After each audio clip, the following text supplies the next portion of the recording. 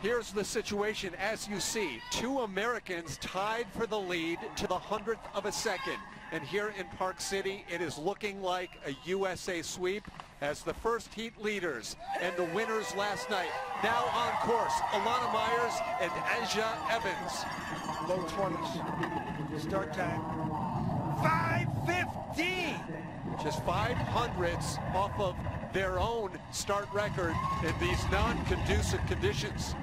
You know, you need the best athletes to push these sleds. They got them. They need great equipment. These new BMW sleds are flying.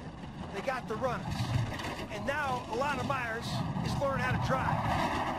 The athleticism of the Americans is just really starting to show in these first two World Cups. In your 30 years calling this sport, John, is this a first? Are we about to see a first on the World Cup?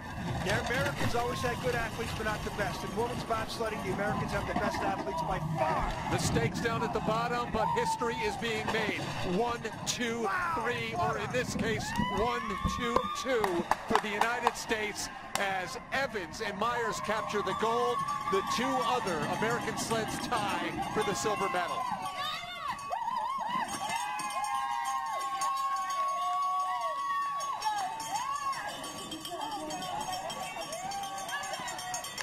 The second victory in as many days for pilot Elana Meyers.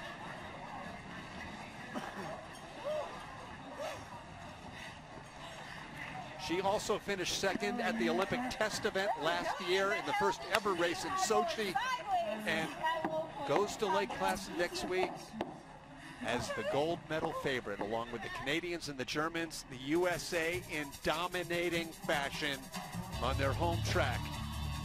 One, two, and two with the gold medal to Elana Meyers and Aja Evans.